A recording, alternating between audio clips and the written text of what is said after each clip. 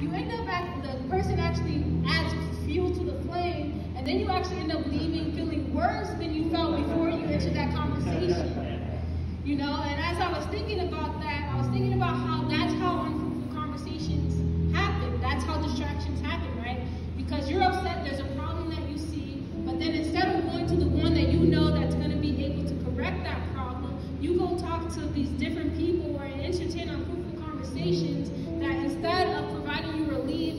actually end up becoming a bigger distraction and derailing you from the path that you were meant to be on in the first place.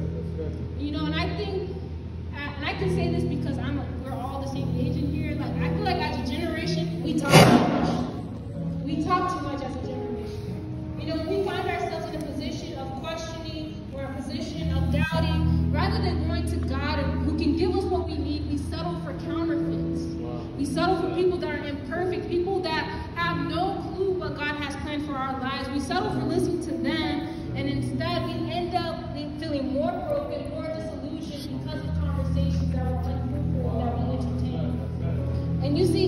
had unlimited access to God. Like unlimited access. Like she was walking in the garden with God. She had full access to him. And honestly, I think that if she had gone to him with her curiosities, gone to him with her questions, I think that the story might have ended up different.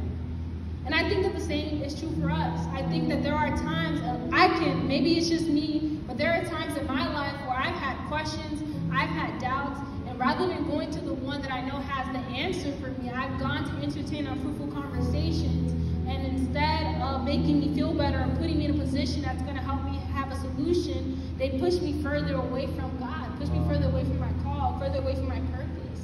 And I feel like this is something that even now that God is still challenging me with, because it's so easy to entertain unfruitful conversations. Like it just happens. Like it literally just happens, especially when you're friend group is just standing in a circle and you're like, oh, what's the tea? Let me walk up and listen to the tea, you know? But I think that it can be so easy for us to fall into that trap if we're not careful. And honestly, I think that if we're if we're not careful, that distraction honestly can lead us so far before before we even realize how